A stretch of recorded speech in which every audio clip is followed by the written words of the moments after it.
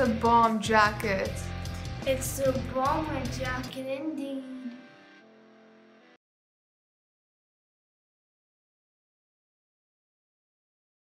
Hello everyone, this is Zeeshan Shah and welcome to Z Interactive. In today's Marvelous Designer course, we will learn how to create a bomber jacket pattern just like you can see here. And usually there are some interesting uh, like patterns, like suppose here you can see crosshatched and sometimes it's in the straight uh, line. So let's see how to create that uh, like this in Marvelous Designer. So I have here this avatar wearing this uh, plain jacket and we will convert this jacket into a bomber jacket. So I will only create the front uh, part. Rest you can do by yourself and see how it will work. It's a simple uh, jacket that we created in our few lessons. So first thing is to decide what kind of pattern you want. So let's do cross-hatched pattern. So we have to first draw a pattern and then we have to clone over this same front side okay, to make it thicker. But first thing first is to create the uh, internal polygon lines here to create that uh, hatch. So first from here, I will make one line, okay, with the shift key. So it will be straight uh, like diagonal, then press enter. Once it is done, what I will do is that I will just uh, take my edit pattern tool. I will right click on it and I will offset as internal line. Okay, increase the distance. So I think a little bit more and then add little uh, more and more here. So it will cover the whole jacket. I press OK. Now, once you will see, uh, once you will press OK, you can see that they are not quite uh, covering the whole front part. So you can manually do that by, uh, you know, selecting this and going to the corner and pulling this down uh, from this end and to other end like this. But it will take a lot of time. There are a lot of lines over there. So the best way to do is to just select all whatever is selected. It's usually pre-selected whenever you press, whenever you uh, offset them and press OK, they are pre-selected. So you can just, you just have to right click over uh, on that, choose extend uh, trim option, then extend trim to pattern outline.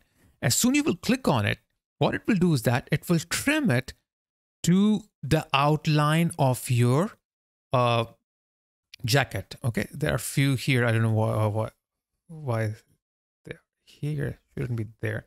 Now, some of them are missing. Okay, because it couldn't cover the whole thing. So simple right click here and do the offset again but this time I don't want it a lot. Just this much. Press OK. As soon you press OK, as I told you, they are pre-selected. Right click, extend, trim, trim, uh, and to pattern outline. All. Now, this is one side. So I have to create the another side here. So I have to go back here, click with the shift key here, press enter. And then I will uh, take my edit pattern tool, right click on it and offset this one as well. But it's going down, so I have to reverse the direction of it. Okay, increase the number. Okay, this is enough. Right click, extend trim to pattern outline. Okay, done. Some are missing here, so I will take this.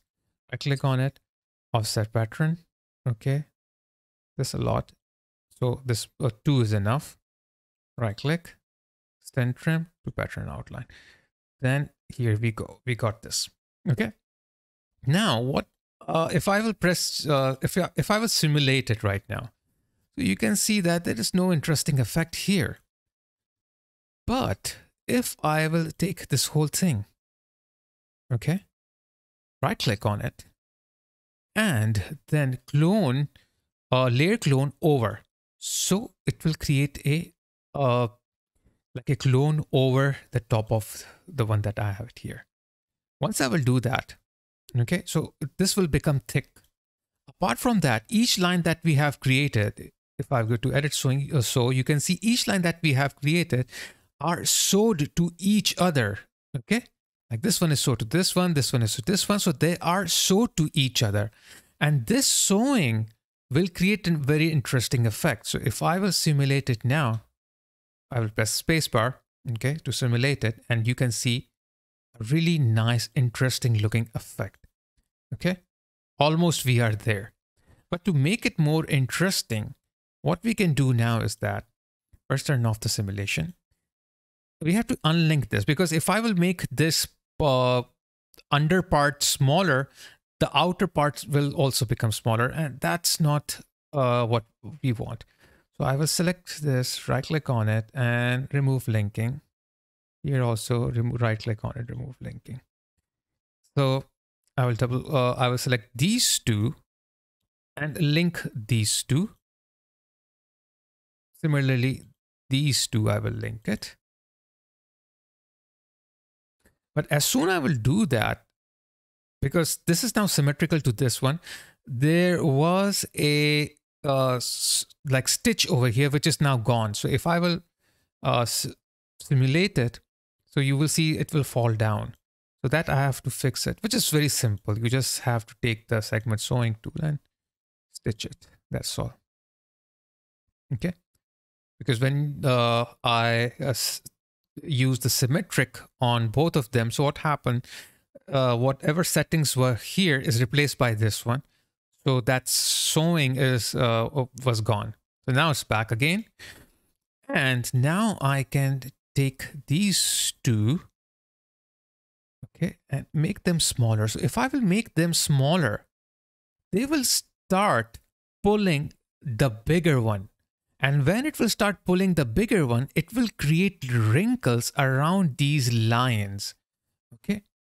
So if you will make it a little bit more smaller, so you will get a very nice touch over here. You can see that. Okay. You have some good wrinkles coming up here. Okay. So that's sort of an effect you can get when uh, you uh, when you will make this smaller. Other than that, what else we can do is that we can take the edit pattern tool, take these patterns and add some elasticity to it. Okay. But not too uh, harsh, like it's too uh, strong here. So we can reduce the strength to maybe uh, three or uh, five. Let's see. I think strength is not affecting that much. Maybe we have to increase the ratio. So maybe 92. Okay, yeah, now it makes sense. Okay, so ratio will uh, give some sort of a nice touch to it.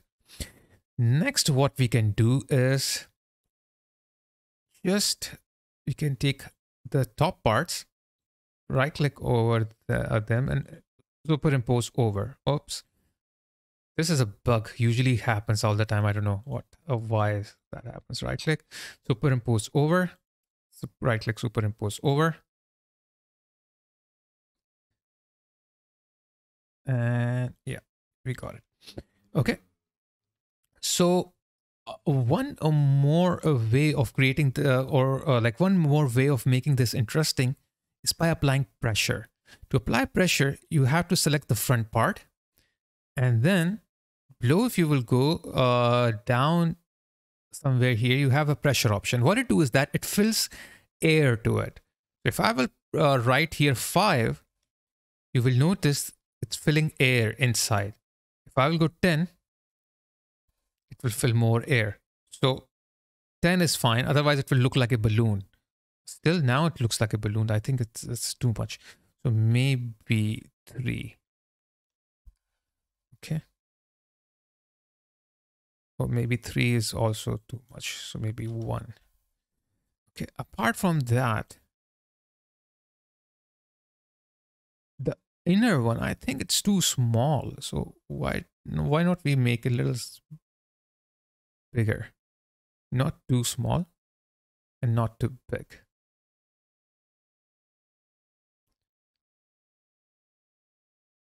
Okay.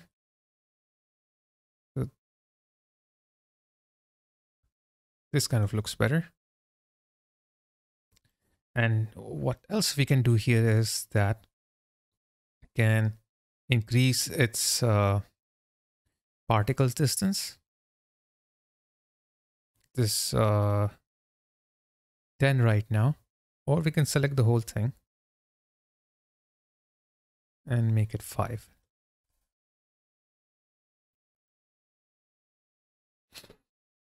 As soon you will make it 5, what else you can do is that let's make a new fabric here and give it uh, like a fabric which matches the nylon uh, like effect. Usually these uh, bomber jackets are made of nylons uh, or polyester, sometimes cotton also. But these are the common ones. So I will go in here in the custom let's see.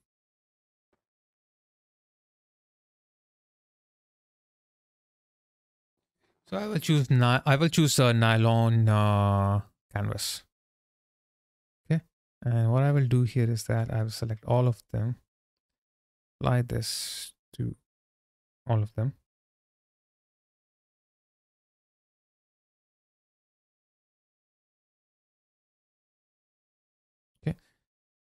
There are easier way to do that, but I'm just doing them one by one. So to make sure each one have this fabric.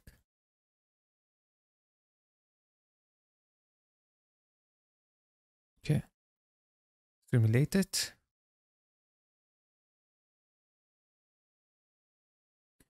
So just we have to wait a little while. And here we go. A really nice bomber jacket. There are sort of a lot of wrinkles here, strong wrinkles, because it is canvas. And if I will go here and change this uh, instead of canvas to nylon, instead of nylon canvas to nylon uh, lightweight, featherweight. So it will become something like this. It depends on what kind of material you're using. Okay. And also you can change the elasticity or uh, elasticity and some those sort of things here. So I hope you have liked this uh, way of creating uh, like uh, the bomber jacket. Okay. And if you have liked this tutorial, this video, so please uh, like this, uh, like hit the like button. And if you guys like my videos and have not subscribed to my channel yet, so please do it and hit the bell icon. And to support my channel, please watch my videos online and do not download them. Otherwise, I won't get any benefit out of it, which will de demotivate me to make further videos. So please champion my channel and like them if you find them useful. So take care guys, stay safe, stay healthy and keep learning on Z Interactive, your own training institute. If you're enjoying this series and want to binge watch the whole course without waiting for next lesson, then join my Z Interactive Early Bird membership plan. Once you are an active member, you will be able to binge watch all the courses without waiting for lessons to get published. Moreover, you can support my channel by joining Z Interactive Friends membership plan. You will get a lot of perks with that also.